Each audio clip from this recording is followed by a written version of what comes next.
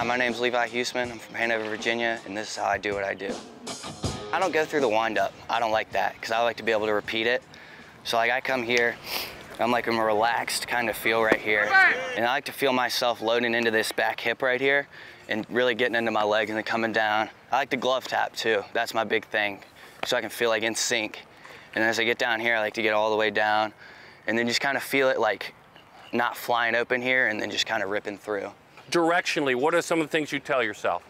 I mean, I like to set up here and then as I kind of get down the mound, it's kind of just straight down, straight at my catcher. And then like with a lefty, I kind of just let the arm slot do the work. And then with a righty, it kind of depends. I'll kind of, you know, if I like to work in, I might adjust it a little bit, but you know, it's kind of just letting the arm slot do the work mostly. What do you tell yourself with regard to your head, your eyes picking up the target? Show me. I mean, my big thing is just like stay on the target as long as you possibly can. Like pick a small spot and stay on it as long as you possibly can. And I mean, that kind of limits the head movement so it, like I can focus longer. Let's start with your fastball. Kind of show me your arm angle and talk to me about it. I mean, I kind of just like, this is kind of how it's always felt comfortable, just kind of here, like staying straight up and then here. Some people like to get here. I don't like that, that's uncomfortable for me. So I just kind of stay here and just let it fly.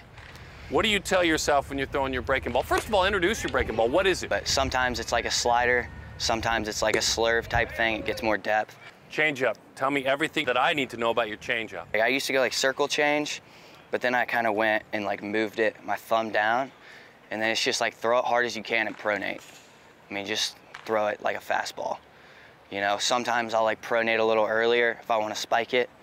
Um, but I mean, really just the whole thing is let the grip do the work and throw it hard.